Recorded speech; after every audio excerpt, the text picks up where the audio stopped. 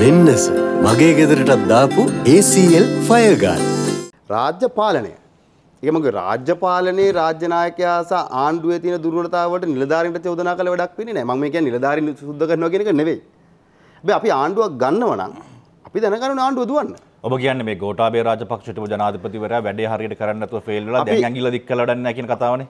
එක පැත්තකින් අපි ඔව් අපි ඇඩ්මිනිස්ට්‍රේෂන් ෆේල් එකක් වුණා. අපි ඒක පිළිගත යුතු කාරණයක්. අපි යම් ක්‍රියාත්මක කළ යුතු තැන්වලදී අපි ක්‍රියාත්මක වුණේ නැහැ. හැබැයි ඒ දවස්වලම සහ ඒ ඔය අරගලයෙන් අනතුරු ලොකු කතාබහක් ඇති වුණා රාජපක්ෂවරු ඔහු අත්හැරියා කියලා. ඒ කියන්නේ අන්තිම මොහොතේ අවසන් මොහොතේ ඔහුගේ පාලනය සම්බන්ධයෙන් විවිධ විරෝධතා මතුවෙනට ඔහු අත්හැරියා. ඔහු හුදකලා කරා කියලා. ඒ චෝදනාව සම්පූර්ණ. අපි පක්ෂ අතහැරියෙත් නැහැ. එතන අපි ගෝඨාභය රාජපක්ෂ මහත්මයා පොහොර තීන්දුව ගන්නකොට අපි පහුතරක් විරුද්ධ වෙච්ච අය. රමේෂ් පතිරණමතුමා මම පක්ෂයක් විදිහට මහින්ද අගමැතිතුමා විරුද්ධ වුණා. ඒක. බැක් කරා. ඇහුවේ නෑ. නෑ අපි ඒක චෝද එතුමාට සාධාරණ හේතු තිබ්බා. ඒකනේ මං කිව්වේ ඉතින් අර බුද්ධිමතුන් ඇවිල්ලා උපදෙස් දුන්නම සම්දිතේ ඒ පිළිබඳව. කියන? නැති නෙවෙයි ඔව්, මන්- රාජනායකයෙක්ට උපදෙස් දෙනවනේ ඉතින්. උපදෙස් මන්ත්‍රීතුමා- දුන්නා සත්භාව වෙන්නේ දැන් මොකද්ද වෙන්නේ? කාබනික දැම්ම වග්ගඩුව අමාරු වෙනවා කියලා. දැන් කාලුත් වග්ගඩුව වලට ජනාධිපති කෙනෙකුත් පත් වුණානේ වග්ගඩුව රෝගයට බෙහෙරන්න. මන්ත්‍රීතුමා දැන් එහෙම තමයි ඔබතුමාලට- දේශපාලනය කරනකොට හැබැයි ඒ ෆේලියකට අපි මම හිතන්නේ නිලධාරීන්ට චෝදනා කළ වැඩක් නෑ. මොකද අතර අවංකෙන් කරපු දෙයක්. මොකද වග්ගඩු රෝගීන් ඇති වෙනවා පරිසරය හානි වෙනවා වතුර බෝට බොඩි සවුත් වෙනවා. නමුත් ඔබතුමා රටේ- රටේ කෘෂිකර්මාන්තයේ- වෙන්නෙත් නෑ. ඉතින් මේ කාරණා එක්ක පැහැදිලිව ගෝඨාභය මහත්තයා සද්භාවයෙන් ගත්තේ. හරි. මම හිතනවා ඒක අවුරුදු 10කින් කරන්න තිබෙච්ච එක අවුරුද්දෙන් කරන්න ගිය අපරාධ කියන කාරණය. හැබැයි අපි එතුමා බැක් කරා. ඉතින් එතුමා ගත්තු තීන්දුව අදටත් අපි එතුමා පවල දෙන්නේ නෑ. ඔව් මන්ත්‍රීතුමා දැන් ඕකේදී දැන් කෘෂිකර්මාන්තය පිළිබඳ ගත්ත තීන්දුවෙන් රටේ ගොවි ජනතාව හාන්සි වෙනවා. එතකොට රටට අත්‍යවශ්‍යම වෙන බත සැපයන්න ප්‍රශ්නයක් වෙනවා. කො- ඒක කඩා වැටුණොත් සම්පූර්ණ රටේ ආර්ථිකය මේ වෙනවා කියලා දැනුමක් තියෙන්න ඕනේ. දැන් ඔබතුමා ගෝඨාභය රාජපක්ෂට මේ ප්‍රශ්නේ බැර කරන්නත් නිලධාරීන්ට බැර කරන්නත් බෑනේ. 69 ලක්ෂ ජනවර්ම පෙළ ගැහෙන්නේ රාජපක්ෂ විශේෂයෙන් මහින්ද රාජපක්ෂට එන ඡන්ද ගොඩ වෙ තියෙන්නේ. ඒතොර රටේ මේ කීර්තිමත්ම ජනාධිපතිවරයෙක් අගමැති පුටුවේ වාඩි කරනවා. ගෝඨාභය රාජපක්ෂට දේශපාලන දැනුමක් නොතිබෙන්න පුළුවන්. නමුත් රටේ ජනතාවගේ බලාපොරොත්තුවක් තිබුණා ඔබතුමාලා මේක හරියට පාලනය කරගෙන යයි කියලා අපි ගෝඨාභය රාජපක්ෂට කරන්න ඉඩ දුන්නා.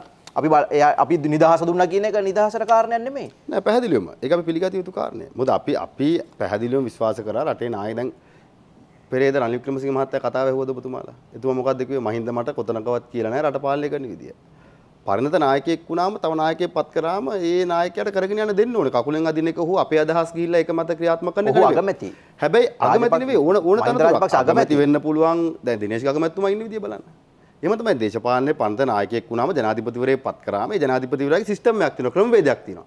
හැබැයි එතන යම් කිසි තැනකදී වර්ධිනවා නම් අපේ යුතුයකම තමයි ඒක පෙන්වල් දෙන එක. ඒක ගෝඨාභයගේ ආණ්ඩුවට ඒක පෙන්වන්න ඕනේ. මන්තුම හොදක් දෙන මන්තුම මේ ඔන්න පෙන්වාදීම කියන කාරණේදී අපි හිතන්නේ ඔක්කොම පැත්තකින් තියන්නකෝ අගමැතිකන් ජනාධිපතිකන් ඔක්කොම පැත්තකින් තියලා මල්ලි මේ උඹ කරන වැඩෙන් උඹට මෙන්න මේ වගේ දෙයක් වෙයි කියලාවත් අයියා කිව්වේ නැත්නම් ඒක මාර ප්‍රශ්නයක් නෙතන. දැන්- මොකද රාජපක්ෂ පවුල ගැන තියෙන එළිය තියෙන කතාව වෙනයිනේ. දැන් මදුෂාන ඔය කාරණේ මම ওই විදිහට කිව්වනම් ඊළඟ ප්‍රශ්නේ මොකක්ද අහන්නේ?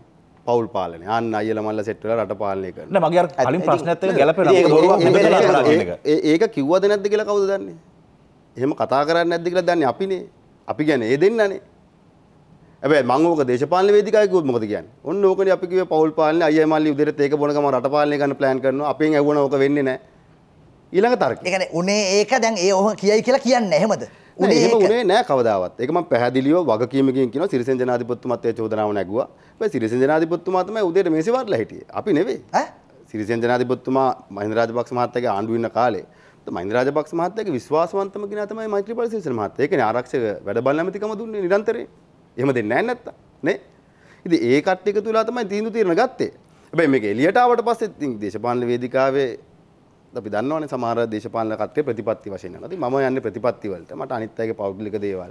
කෑම කන දේවල්. වෙන මාතෘකාවට යන්න තියෙන තව කෙටි ප්‍රශ්නෙන් අපි අවසන් කරමු මේ ඔබ සඳහන් කරනවා අර රට බේර ගන්න සහ රට ගොඩනගා ගන්න තමයි රනිල් වික්‍රමසිංහ මහත්තයා ජනාධිපති කරේ කියලා අත උස්සලා රට බේර ගන්න. රට බේර ගන්න. රට රට ගොඩනගන්න. ගොඩනගන්න. ස්ථාවර කරන්න. ඔව්, ඊට ටිකකට කලින් ඔබතුමා කියනවා මේ 2015 2019 ආණ්ඩු කාලේ විදුලි බල විදුලි බලයට එක එකකයක්වත් ආවේ නැහැ පාස්කු ප්‍රහාරය සිද්ධ වුණාම.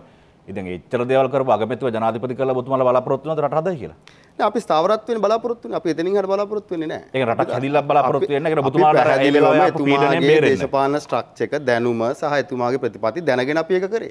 ওই ප්‍රශ්නේ වෙන්නේ නෑනේ මචන් විපක්ෂ නායකතුමා බාරගත්තා. ඒ කියන්නේ ඒ ඒ නෑ, ඒ- ඒක දැනුම ඒ දැනුම නේ? වෙන ඒ දැනුම වෙන කාටවත් ඒ මොහොතේ තිබුණ නැහැ කියන එකද විපක්ෂ කියන්නේ. නායකතුමා බාරගත්තා නම් අපි එතුමාගේ ආණ්ඩුව වැටෙන්න දෙන්නේ නෑ.